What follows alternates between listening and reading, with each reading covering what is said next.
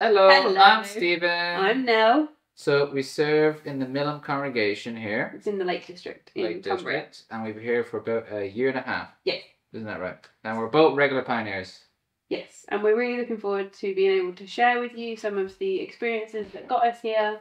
And we're just really thankful that you've taken the time to want to listen to our story. Yeah. Mm. So see, you do you do make a sacrifice. You don't always have the money to buy the best clothes or have the expensive cars, or even go off on holidays and stuff like that.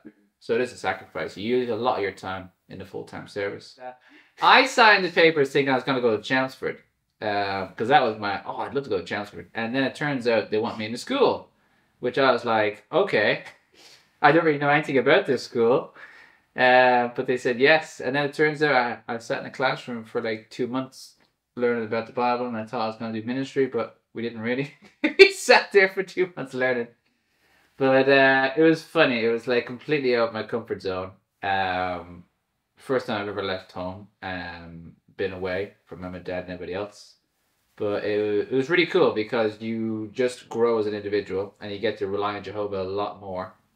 Like I remember one time, I always took about three weeks, four weeks to prepare for a talk, and I only had about less than two weeks to prepare for talks in the school, along with other assignments. So I was feeling the pressure, thinking, "Man, I can't do this. I can't do this." But every time I had to get up on the platform, I just found out that, oh my goodness, you could just do it. It's like Jehovah just flick a switch and turn everything back on, you know, and just helped you to be able to remember what you prepared. So I realized when I was there that Jehovah put you through a pressure cooker sometimes, but he doesn't do it that you actually break. He does it that you become stronger. So your faith increases. So even small ways like that, like giving talks, or even large ways like leaving home and going somewhere else. Uh, that was one of the really cool things um, that I got to experience. But it wasn't necessarily a goal I had, but it was um, it was something that was a really great blessing though. That I've always kept my blessings because afterwards I got to meet Nell, uh, and got to make loads of cool friends, and you just get to experience something that's really unique in the sense of you you depend on Jehovah to pay the bills more than yourself. And I thought that was really cool. So when I started pioneering, it was in 2011, and I think I was 20, and I was only out of school. So what really encouraged me to start pioneering was a brother um, in my congregation who took me out and kind of basically set the goals for me. So I didn't really know what he was doing. I didn't think about it too much. So he invited me out on a Monday. Let's go out on a Monday um, do ministry. And I was like, that's brilliant, yeah. Because he used to give me lattes from McDonald's. So I'd every time we go up ministry, he'd give me a latte. And I'd be like, yeah. And I collected all the stickers. so I get a free one. Um, but then he just started saying, you know, you're doing like eight hours, nine hours this week. Um, why don't you try go do auxiliary? And I was like, oh, okay. And he said, it's like, it's only 12 hours really, a week. And I was like, okay, I'll do that. And then I started doing that for a couple of months. And then it's like, you know, you're doing like 50 hours each month or more. Why don't you try to go do regular? And I was like, oh, okay. So accidentally on purpose, he did basically set me up for doing pioneer in the future. He's basically just molded me to do that. And uh, that's that's who I started off the pioneering for so long that I just basically I loved it a lot, uh, because I was choosing to go out with friends and it was just something that it became more enjoyable over time. Where because I was being dragged out by my mum and dad and stuff like that, it's just more annoying. You know, you just didn't want to do it. But now because I was choosing to go out, um, it just became more natural and just easy. At the start, it was just difficult and hard, but as time went by, it just became far more natural to talk to people and just get to be more of a per- people person. Ooh, probably peer pressure would be a big one.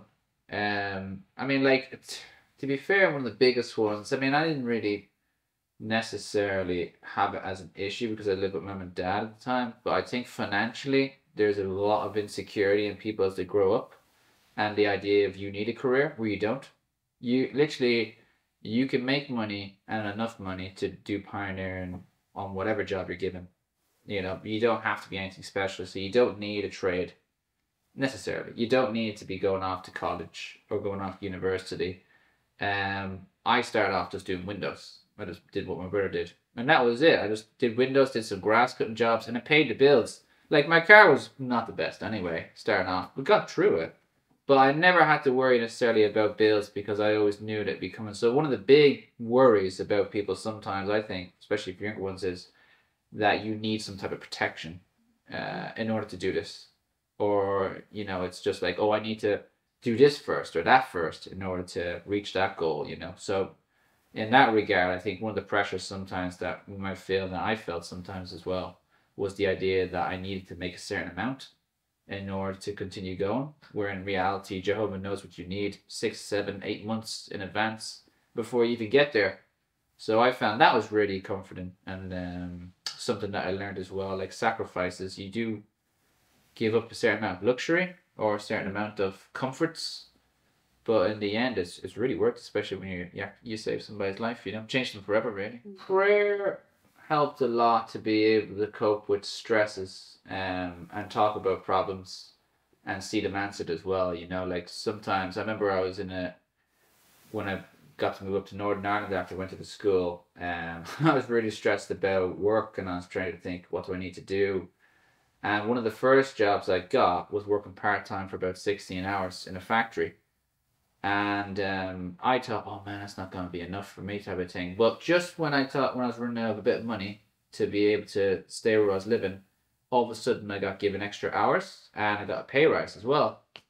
And I was I was really happy about that. I felt really protected because in my head I was looking at it and I was like, oh no, I'm getting to this point January. I'm thinking I'm not gonna be able to do it. I might have to go back home.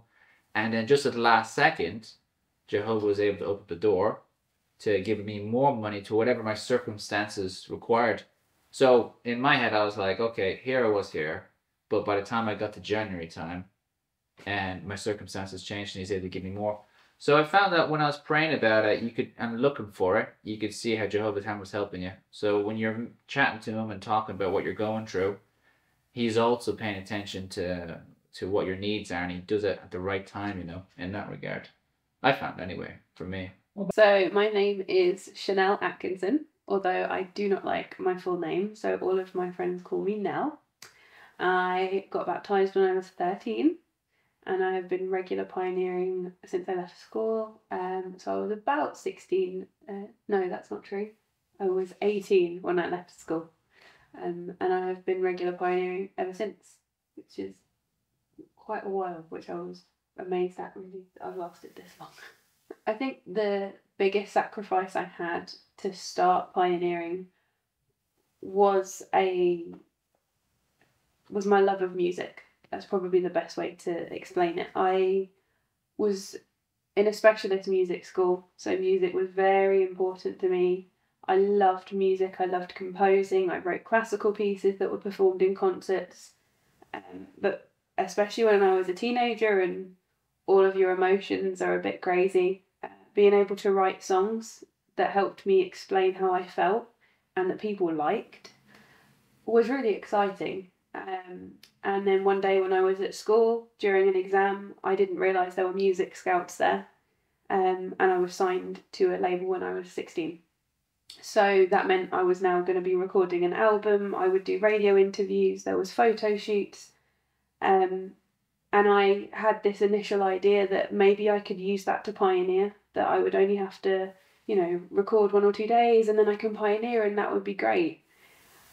But I felt so empty and I hated the music industry. I didn't like seeing how people's music was changed, and I'd started to not enjoy playing music anymore.